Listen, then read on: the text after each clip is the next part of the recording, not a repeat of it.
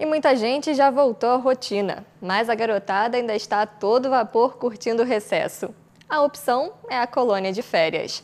Espalhadas pela cidade, a iniciativa une diversão para as crianças e descanso para os pais. O período de férias já acabou para a maioria das pessoas, mas para as crianças, o lazer ainda não chegou ao fim. Como grande parte das escolas geralmente retornam somente no início de fevereiro, os pais precisam usar a criatividade para entreter seus filhos. Pensando nisso, algumas instituições oferecem as colônias de férias, onde meninas e meninos podem se divertir com vários tipos de atividades e, é claro, com segurança.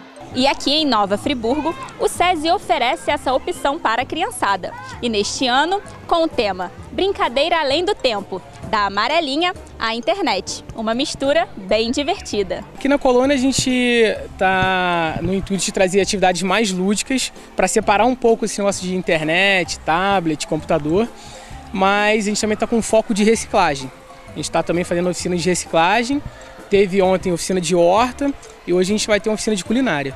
O nosso foco da colônia é estimular a, a conscientização da, da reciclagem para eles esse ano. A queridinha das crianças é a piscina, mas a colônia oferece muitos outros tipos de atividades, como jogos e exercícios de aprendizado, de brincadeiras antigas até as mais atuais. Os pequenos aproveitam de tudo um pouco e se mostram eufóricos com as recreações. O que, você está achando da colônia de férias? Muito legal. Eu estou achando muito legal que é uma das colônias, a melhor colônia que eu já fiz. A piscina é muito grande e dá para fazer aula de natação.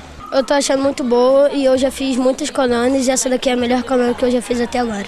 E ansiosos para futuras atividades. Jogar sinuca, totó, são, em média, 150 crianças, dos 3 aos 11 anos de idade.